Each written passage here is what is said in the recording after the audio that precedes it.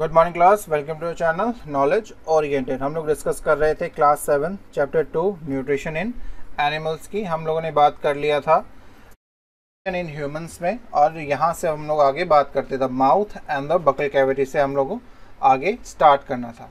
अगर आप लोगों ने पार्ट वन नहीं देखा हुआ है तो देख लीजिएगा, और क्वेश्चन भर भर के पूछिए। चलिए। देखते the mouth and the buccal cavity से बात करनी है। अगर आप पहला पार्ट नहीं देखेंगे तो मैं तो 100 परसेंट बोल सकता हूँ, समझ में नहीं आने वाला, क्योंकि उसमें भी काफ़ी चीज़ें डिस्कस की गई हैं। तो आप लोगों को एक अंदाज़ा मिल जाता है कि इंट्रोडक्टरी पार्ट मिल जाता है, आगे का जो भी हम पढ़ने वाले होते हैं। तो इसीलिए फ़र्स्ट पार्ट देख लीजिए, फिर सेकेंड पार्ट पे आइए।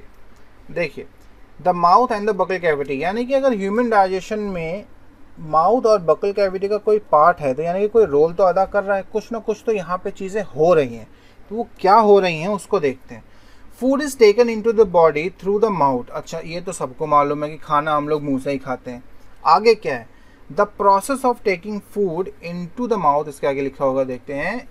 Into the body is called injection यानी कि बॉडी में जो खाना हम लोग इनटेक कर रहे हैं थ्रू माउथ उस प्रोसेस को हम लोग क्या बोलते हैं?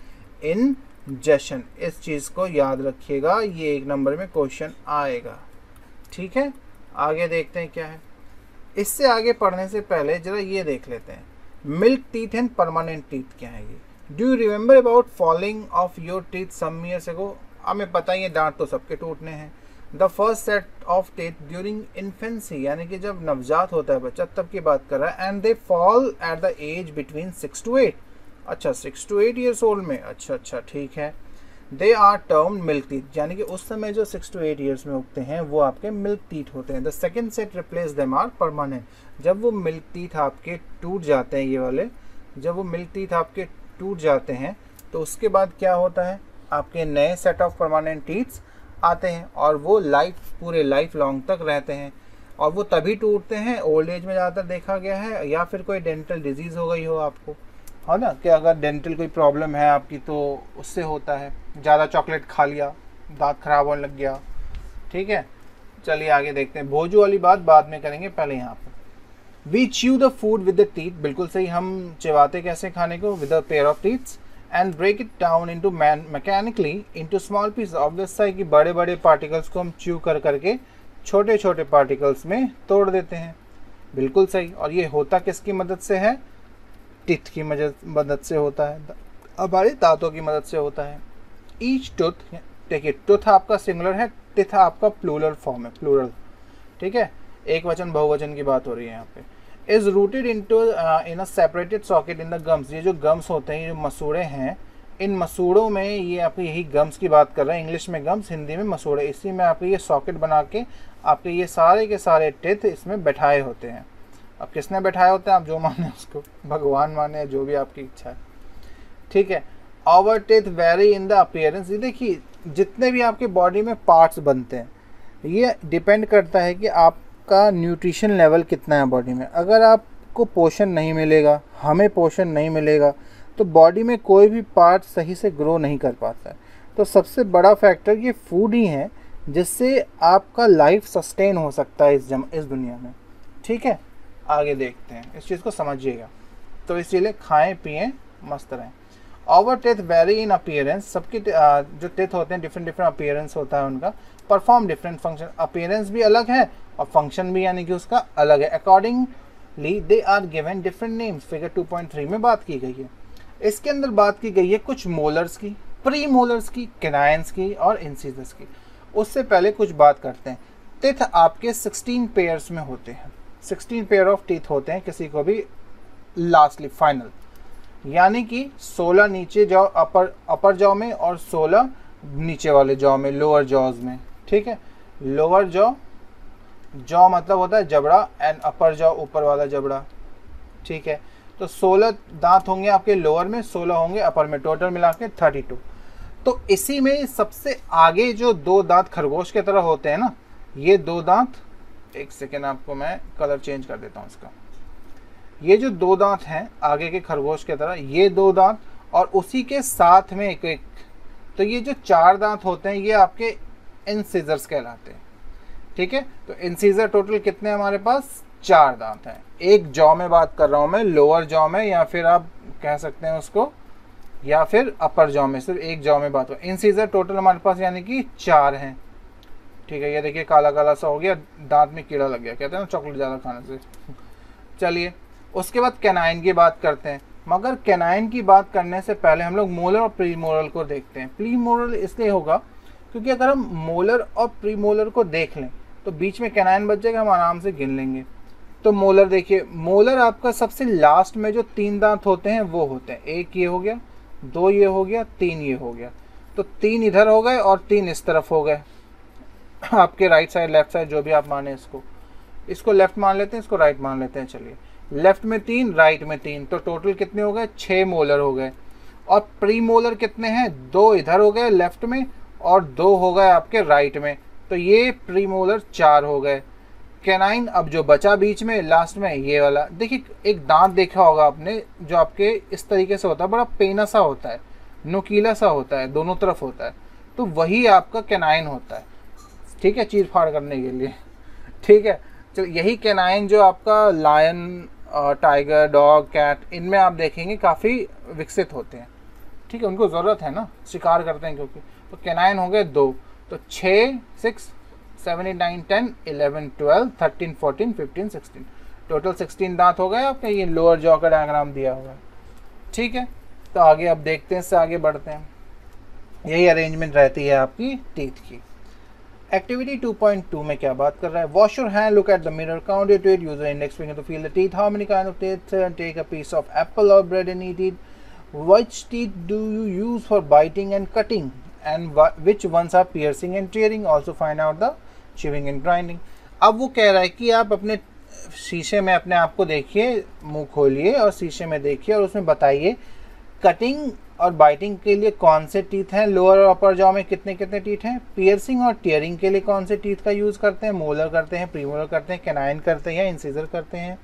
और चिविंग और ग्राइंडिंग के लिए क्या करते हैं? ये तो आप आराम से कर सकते हैं तो ये आप कर लेंगे। मैं आपको इतना बता देता हूँ, चबाने के लिए लास्ट के दांतों का यूज़ होता है। आपको पता है नाम क्या है? मोलर एंड प्री मोलर आगे के दांत कटिंग के लिए यूज़ होते हैं और छीलने के लिए जो होते हैं, वो कैनाइन यूज़ होता है। ठीक है, अब तो मुझे लगता नहीं कि दिक्कत होने वाली है। भोजू को पढ़ते हैं और नेक्स्ट पेज पे चलते हैं। Bhoju is fascinated by the highly coiled small intestine seen अच्छा भोजू बड़ा देख के चकित रह गया कि स्मॉल इंटेस्टाइन को बड़ा क्वाइल्ड फॉर्म में है बॉडी के अंदर। He wants to know its length वो इसका लेंथ जानना चाहता I think seven point two या सेवन पॉइंट एट करके है सेंटीमीटर है। आगे आपको मिल जाएगा जब हम स्मॉल इंटेस्टाइन पढ़ेंगे। Would you like to make wild guess ठीक है गैस कीजिए कमेंट सेक्शन में डालिए। We have given its approximate length on page six अब लो बता ही दिया इसने तो। Just imagine how such a long structure is accommodated in a small space within our body कहता है कि इस तरीके का इतना बड़ा मतलब स्पेस एरिया ऑक्यूपाई करने वाली चीज़ इन स्मॉल डिस्टेंस जिसकी बात कर रहा है, वो कैसे इतनी अच्छी तरीके से क्वाइल्ड फॉर्म में हमारे बॉडी के अंदर है? वो फैसिनेट हो गया बोजू और सोचने लग गया कि उसका, यार लेंथ कितना होगा। ठीक है? तो इसको आगे हम लोग बात करेंगे नेक्स्ट पेज पे। तो फटाफट इसे क्लीन करते हैं। और नेक्स्ट पेज पे बढ़ते हैं। चलिए देखिए। आगे क्या बात कर रहा है ये? Our mouth are mouth has the salivary gland with secrete saliva यानी कि अब हमें यहाँ से एक बड़ा अच्छा पॉइंट मिल गया कि वो जो सलेवरी ग्लैंड की बात इतनी देर से चल रही थी, पीछे भी पार्ट वन में भी आपने देखा होगा, वो क्या सेक्रीट करता है? एक केमिकल सेक्रीट करता है जिसका नाम होता है सलाइवा सलाइवा का मतलब हो गया यही थूक, हिंदी में थूक थूक जो बोलते हैं थू थू थू करते रहते सो ठीक है? इधर उधर थूक, वैसे भी फेंकना नहीं चाहिए। चलिए आगे देखिए। Do you know the action of saliva on food आपको पता है कि ये सलाइवा ये फ़ूड पर क्या प्रतिक्रिया करता है? प्रतिक्रिया का मतलब हो गया हिंदी में कि क्या एक्शन करता है फ़ूड पर। ठीक है? तो लेट फाइंड आउट ठीक है? ओके फाइंड करते हैं, देखते हैं। Take two test tube level A and level B level करें उसको ए और बी ठीक है, ये रहा ए और ये रहा बी ये वाला। In test tube A put one teaspoon full of boiled rice हमने सब में देखिए बॉयल्ड राइस माना है। बॉयल्ड राइस देखिए आपका जो राइस होता है वो आपका बहुत ही अच्छा कार्बोहाइड्रेट उसके अंदर होता है प्रेजेंट कार्बोहाइड्रेट कॉम्प्लेक्स मॉलिक्यूल वाला कॉम्प्लेक्स सब्सटेंस कार्बोहाइड्रेट उसमें बहुत अच्छे मात्रा में होता है, ठीक है? और कार्बोहाइड्रेट्स अगर आप ध्यान याद कर पा रहे होंगे तो इसे स्टार्च भी कह रहे थे हम लोग किसमें कहाँ पर? आपके प्लांट में, और इसके लिए हम लोग आयोडीन टेस्ट भी करते हैं आयोडीन सॉल्यूशन का डाल के, वो नीला पीला हरा हो जाता है, अभी आगे बताऊँगा। अगर याद नहीं है तो ऐसे याद आ जाना चाहिए बट इसमें आपको पढ़ना ही है तो बता ही देता हूँ आपको। तो one teaspoon spoon spoon full of boil rice in test tube B keep one teaspoon full of boil rice after chewing कहता है जो इस वाले में आपको राइस डालना है, और ए वाले में राइस डालना है। ए वाले में तो नॉर्मली बॉयल करके राइस डाल दिया। मगर बी वाले में चबाने के बाद जो राइस आपके मुँह में बचा ना, उसको डालना है उसमें, ठीक है? फिर उसमें तीन से चार एम आपको पानी डालना है दोनों टेस्ट ट्यूब में। अब हम उसमें दो से तीन ड्रॉप आयोडीन सॉल्यूशन दोनों टेस्ट ट्यूब में डालेंगे और ऑब्ज़र्व करेंगे। अब उसमें देखिएगा there is a change in colour in the test tubes अब वो पूछता है, क्यों हो रहा है ऐसा? Discuss the result with your class में एनी टीचर अच्छा ठीक है। अब देखिए, यहाँ से मैं बताऊँगा जब आगे होता है। इसमें देखिए कलर चेंज नहीं हुआ। इसमें आपने चिवाने के बाद आपने राइस डाला था बी वाले में।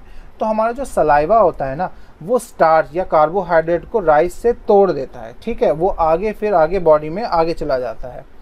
और यहाँ पे क्या हो रहा है, ये तो पूरा बॉयल्ड राइस था, इसको चिवाया गया था नहीं तो इसके अंदर स्टार्च प्रेजेंट था और इसमें स्टार्च प्रेजेंट नहीं था। और जिसमें स्टार्च प्रेजेंट होता है, उसमें आर्डिन सॉल्यूशन डालने के बाद वो रंग शो करने लग जाता है blue blue colour purple colour का होता है, ऐसे डार्क होता है वैसे तो। ठीक है? और यहाँ पे कोई कलर शो नहीं किया आयोडीन सॉल्यूशन और देखिए आयोडीन सॉल्यूशन आपका कलरलेस होता है, ठीक है? वो मत सोचना कि नीला पीला होता है, वो खुद ही। चलिए, आगे देखते हैं। The saliva breaks down the starch into sugar यानी कि अब आगे उसने बोल दिया कि वो जो सलाइवा था, जो बॉयल राइस में जो हमने चिवाया था, उसमें जो स्टार्च था, उसको ब्रेक डाउन कर देता है किसमें? यानी कि हमें एक चीज़ पता चल गई कि सलाइवा वो केमिकल है जो कि आपके कार्बोहाइड्रेट या फिर स्टार्च को किसमें ब्रेक करता है? शुगर में। ये एक नंबर में एक और क्वेश्चन बन गया। इसी तरह एक नंबर वाले क्वेश्चन जुड़ते जुड़ते तीन नंबर बन जाते हैं, दो नंबर बन जाते हैं। ठीक है तो इसीलिए हर पॉइंट को हम लोग डिस्कस करते हैं। आगे देखिए। The tongue is a fleshy muscular organ अगर टंग का कोई डेफिनेशन बोले तो सीधा सीधा बता दीजिएगा टंग एक फ्लैशी मस्कुलर ऑर्गन है। जो कि अटैच होता है back to the floor of the buccal cavity buccal cavity के पीछे के साइड से वो अटैच होता है. It is a free at the front and can be move in all direction और ये किसी भी डायरेक्शन में मूव करता है और फ्री रहता है at the front front form में मतलब आगे की तरफ़. ठीक है? Do you know the function of tongue tongue का आपको फ़ंक्शन पता है क्या होता है? देखिए टंग का फ़ंक्शन जो भी आगे पढ़ेंगे, मगर आपको बताता हूँ टंग का फ़ंक्शन होता है मैस्टिकेशन का. एम ए एस देखिए, ये होती है स्पेलिंग मैस्टिकेशन और ये पूरा इस तरह नहीं लिखते, इस तरह लिखते हैं मैस्टिकेशन ऑफ़ फ़ूड यानी कि खाने को मिलाने का। ठीक है, मिलाना होता है मैस्टिकेशन का मतलब मिक्स करना। इसको ध्यान रखिएगा मिक्स करना। चलिए आगे देखते हैं। Do you know the function of tongue अच्छा अब तो हमें पता चल गया बताइए। We use our tongue for talking अरे, पता है तो बोलने के लिए हम लोग जवान चलाते ही हैं बहुत। Besides it mix saliva with food अच्छा सलाइवा को फ़ूड में मिक्स करने के लिए भी टंग का यूज़ होता है। During chewing and help in swallowing food और जो कि मदद करता है च्यूविंग में और सॉलो करने में। देखिए, सॉलोइंग में क्या होता है ना, जो सलाइवा होता है, वो थोड़ा, क्या कह सकते हैं, फिजिबल जैसा होता है। तो लसलसा सा कहते हैं हिंदी में आई थिंक हाँ हाँ भाई और क्या कहते हैं, जब हम, वो खाने में मिल जाता है तो हम लोग जब निकलेंगे तो खाना क्या होगा, गले में आसानी से नीचे चला जाएगा। नहीं तो गले में अटक गया तो चोकिंग हो सकती है ना। प्रॉब्लम कर सकते हो सलाइवा का एक ये भी काम है। We also taste food without tongue हम टंग को यूज़ कैसे करते हैं? फ़ूड को टेस्ट करने में। और वो टेस्ट होता कहता है, होता कैसे? क्योंकि टंग में कुछ बर्ड्स होते हैं, जिनको टेस्ट बर्ड्स कहा जाता है, जो कि डिटेक्ट करते हैं कि किस प्रकार का फ़ूड आप खा रहे हैं। अब आगे जो है वो पढ़ेंगे बट यहाँ देखते हैं क्या है इस वाले में। Sweet and tooth decay sweet sweets क्या है? वो मिठाइयाँ टूट डिके आप समझ ही रहे हैं क्या है। दांतों का सड़ना, जो कि बैक्टीरिया की वजह से होता है। नॉर्मली बैक्टीरिया ओह, आ गया। Bacteria are present in our mouth but they are not harmful to us bacteria हमारे माउथ में तो हमेशा प्रेजेंट रहते हैं, चौबीस घंटे तक रहते हैं लाइफ लॉन्ग रहेंगे, मगर वो हमारे बॉडी हमारे टिथ को कोई हार्म नहीं करते हैं। मगर देखिए, अब हार्म वो करने कैसे लगे, देखिए। However if you do not clean our teeth and mouth after eating अगर हम खाने के बाद अपने टिथ को क्लीन नहीं करेंगे तो जो बैक्टीरिया हैं, वो वहाँ पे रहने लग जाएँगे और ग्रो करने लग जाएँगे। क्योंकि उनको खाना मिल गया ना शुगर मिल गया, जो हम खाना खाते हैं, उसमें शुगर होता है स्टार्च होता है, वो स्टार्च मिल गया और वो वहाँ पे उसको खाने की तरह यूज़ करेंगे और खाना मिलेगा तो ऑब्वियस है कि वो क्या करेंगे ग्रो करेंगे। फिर क्या करता है ये bacteria these bacteria break down the sugar present in the left over food and release acids अच्छा ये एसिड रिलीज़ करने लग जाता है, खाना जो हमारे बॉडी मुँह में प्रेजेंट होता है, उसको यूटिलाइज कर, करते हुए the acid gradually damage the teeth और ऑब्वियस है वो एसिड क्या करेगा? डैमेज करेगा जो बैक्टीरिया जनरेट कर रहा है बना रहा है और यही होता है आपका टूथ डिके ठीक है? तो इस चीज़ को आप लोग ध्यान देंगे यही है आपका टूथ डिके आगे देखते हैं। If it is not treated in time it cause severe toothache and extreme cases result in tooth loss obvious है दांत में दर्द हो सकता है या फिर दांत आपका टूट के गिर सकता है। Chocolate, sweet soft drink and other sugar products are major culprit of tooth decay यानी कि जो चॉकलेट खाते हैं स्वीट ड्रिंक करते हैं, स्वीट ड्रिंक सॉफ्ट ड्रिंक जो होती हैं, मीठी मीठी, ठीक है? इनसे, इनमें शुगर प्रेजेंट होता है और यही हमारे ज़्यादा मेन कल्प्रेट हैं दांतों को ख़राब करने में। Therefore one should clean truth with brush या दातुन। दातुन आपका नॉर्मली जो नीम के पेड़ से आपका निकाला जाता है ना, जो उसका ब्रांच यूज़ करते हैं हम लोग नीम से। निकाल के वही दातुन कह रहे हैं। गाँव में सबसे ज़्यादा यूज़ होता है बेस्ट यही है मेरे हिसाब से तो। अब जो भी है जो सहूलियत मिले जहाँ, वही सही। And dental floss dental floss use होता है। दांतों के बीच में कोई गंदगी फंसी है तो उसका यूज़ करते हैं। स्पेशल टाइप का थ्रेड होता है ये। लिखा है special strong thread which is move between two teeth to take out trapped food particle जो अभी मैंने बताया। कम से कम आप ये एटलीस्ट ट्वाइस अ डे करें हमेशा, मुँह धोएँ। Rinse the mouth and every meal और खाना खाने के बाद कुल्ला, करते ना, मुँह में पानी डाल के गुड़ गुड़ ऐसे कर रिंस द माउथ वही कह रहा है वो।